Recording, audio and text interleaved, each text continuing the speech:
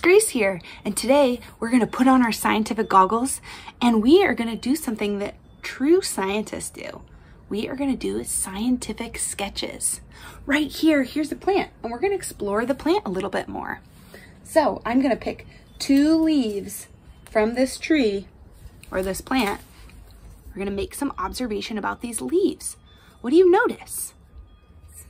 So scientists, we use sketches to help us communicate information.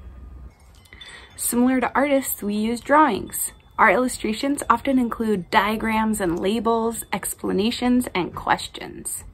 Now you don't have to think of yourself as an artist to be really successful at scientific sketches. All you need to do is take some time, observe closely, and record what you see. We call it the ABCs of scientific illustration because each letter stands for something that we should keep in mind while we are drawing. A stands for accurate. Now is this picture accurate?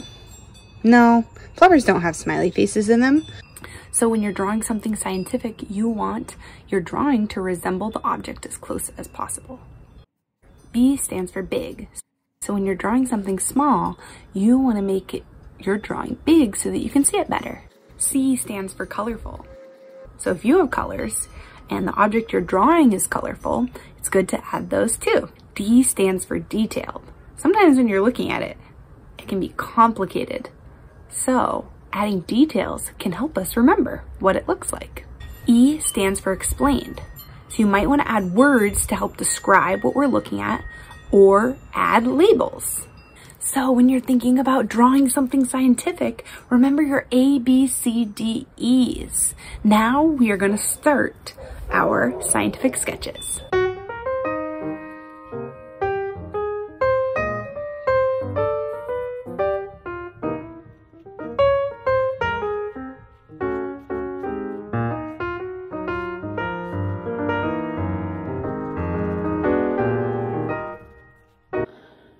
Right, now that it's accurate, so we added in all of the different shapes and how many of the lines that we see, and we made it really big.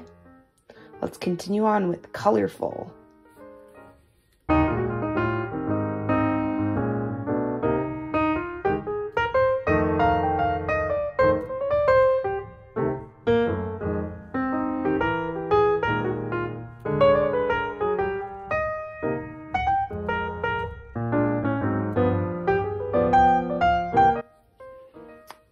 Now that I added colors, it's time to make sure that it's super detailed.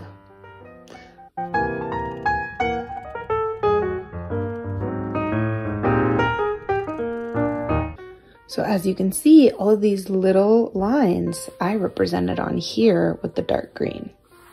So we added detail. We can now explain it.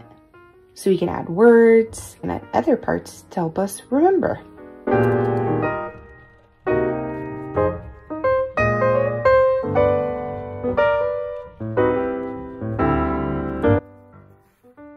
So now we can ask, I wonder. It reminds me of, I notice about what we see on our scientific specimen, which today is a leaf. I wonder what it will look like tomorrow. It reminds me of the shape of a triangle. I notice it doesn't have a strong smell. We can continue adding more detail and make observations that we notice about our specimen. Don't forget to add the date. Now that we've finished this scientific sketch, it's your turn to go out and find a specimen to do your scientific illustration with. So it could be another leaf, or it could be a flower or another part of a plant, or it could be something else like a creature that you find. So I want you to take some time, observe closely, notice what you see, and record it in your scientific journal. Thank you so much for joining me today, and see you later, scientists.